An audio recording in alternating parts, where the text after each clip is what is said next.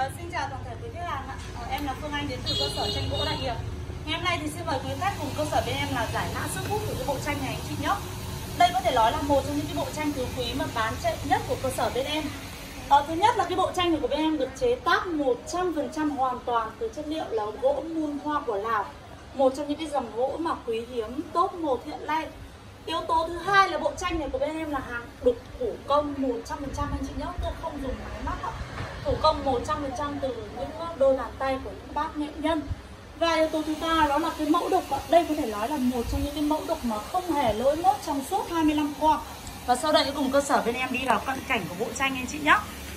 À, đây trên màn hình của quý anh chị đang là tổng thể của bộ tranh với kích thước là 1m27 rộng 38 và dày 5 phân.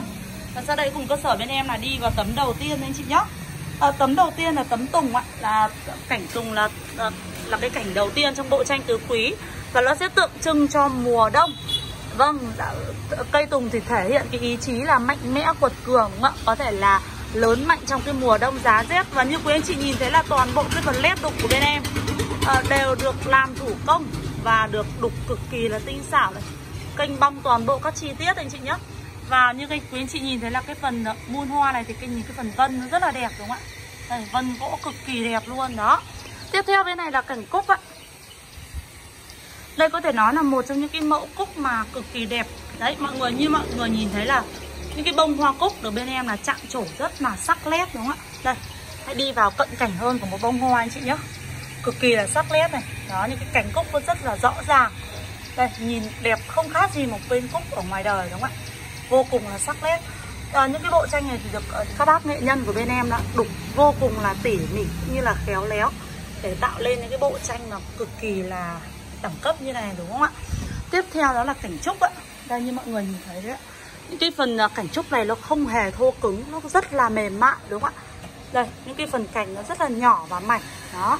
Đây có thể nói là một trong những cái mẫu cúc nó rất là mềm nó rất là đẹp. Đó đây toàn bộ những cái chi tiết là sẽ đều được bên em là móc tỉa kênh bóc và đục thủ công hoàn toàn bằng tay lên mọi người. Có thể thấy là những cái chi tiết nó rất là sắc nét, đúng không ạ? Và cuối cùng là cảnh mai ạ. Đó. Thì như quý anh chị nhìn thấy không ạ? Những cái bông hoa mai này, những phần nhụy mai là rất là sắc nét và rõ ràng. Đó, toàn bộ những cái chi tiết là sẽ đều được nghệ nhân là đục tỉa và thổi hồn và bức tranh vô cùng là đẹp, đúng không ạ? Đây, mời quý anh chị cùng ngắm lại một lần nữa cái bộ tranh của bên em anh chị nhé Và mọi thông tin về sản phẩm thì quý anh chị liên hệ trực tiếp qua hotline 0837 3 con 9, 3 con 7 hoặc về trực tiếp tại cơ sở à, Đại nghiệp Tân Dân Phú Xuyên Hà Nội để được thăm ngắm trực tiếp anh chị nhé. Xin cảm ơn ạ.